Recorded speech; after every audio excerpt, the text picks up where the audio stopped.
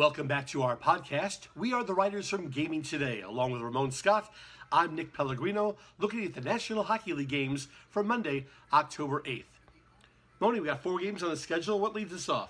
Well, the San Jose Sharks going to take on the New York Islanders. The Sharks opened a buck 48. They're now up to a dollar 60. The total is six over 10.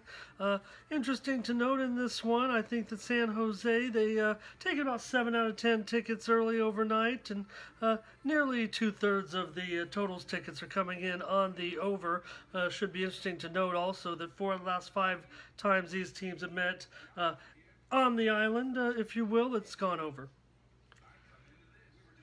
Islanders as a road dog aren't a bad value. First big trip of the year for the Sharks, and they haven't looked that good, especially that opening night loss to the Anaheim Ducks. I kind of lean towards the Islanders in this game. All right. Because we have a bunch of, uh, there's some big lines in this game. You got to find some dogs and some value. I might, I might take the Islanders in the first game. The second game we'll talk about. I'll come in with the over on that game. I understand that.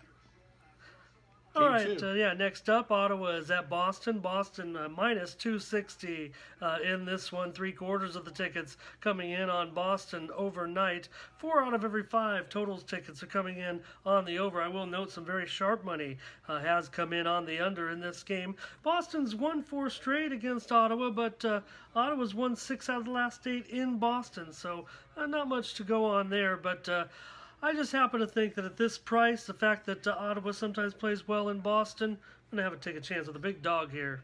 Ottawa's played well for the first two and a half periods of all their games so far this year. They can hang in there with Boston. Might be a puck line play, but uh, I'll pass. Boston minus 260. That's ridiculous to play. So, pass. All right, and our Vegas Golden Knights are going to travel to play Buffalo. Vegas opened $1.38 on the road, slight tick up to $1.40. Heavy public interest overnight on the Vegas Golden Knights, and also heavy public interest on the over. I'm showing 9 out of every 10 tickets or so coming in on the over in uh, overnight wagering. Uh, not much of opinion for me right now in this game, but uh, some interesting things to note. As I wrote in Gaming Today earlier, a couple weeks ago, the Buffalo Sabres have injuries to three of their top six defensemen. I think the Sabres could be a good team this year, maybe even finish 500, maybe contend for that last playoff berth in the East. But right now, they're not a complete team. Vegas is that little parlay already plays in Nevada. Vegas and the over.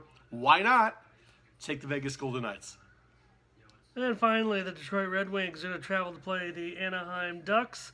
Uh, in this one, no overnight line. Detroit uh, undecided right now on their goalie for Monday's game. Uh, I will note this series has been quite an under when they played in Anaheim 11 5 and 1 the last 17 meetings uh, in California. Anaheim 4 and 1 uh, versus uh, Detroit at home, so kind of interesting there. I think Anaheim does hold the upper hand in this series. We'll be interested to see what the line is tomorrow. Probably Jimmy Howard will return the goal. They had their backup in last night against the Kings. LA wins it 4 to 2 with an empty net goals. That killed the, the under for the total. Again, the under is the right play. Ducks uh, have a better goalie. Detroit playing back to back on the road for the first time this season. I'd lean Anaheim. I prefer the total going under. So that'll do it for our podcast on hockey for Monday. Good luck to y'all, and we'll see you next time.